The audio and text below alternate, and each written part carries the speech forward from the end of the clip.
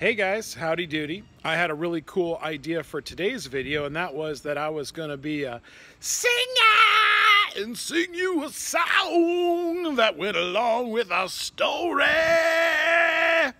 But anyway, as I was thinking about it, we went to San Antonio. And in San Antonio, I met a man who I felt like God was telling me to talk to. And actually, he was homeless and much like the man in the story, he was trying to figure out a way to earn money. And the way that he wanted to earn money is to write a poem. And he had a little typewriter, it wasn't electric. And you would tell him the subject. So I got to tell him today's Bible story, the whole thing, and say, Can you write a poem about that? And he did. And then I asked him to read it, and you guys will get to hear it. But the cool thing is at the very end, I got to tell him how God forgives us, and no matter what we've done, we can come home. Pretty cool.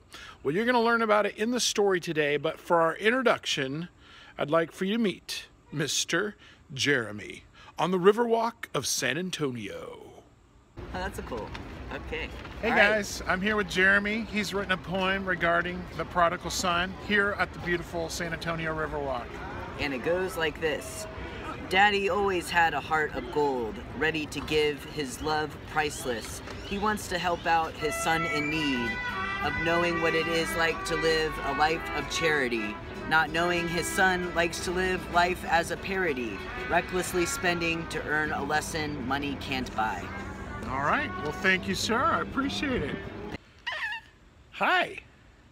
No. So, guys, remember, when you go home today, when you think about it, pray for Jeremy that he would come to know Jesus. Pretty sweet.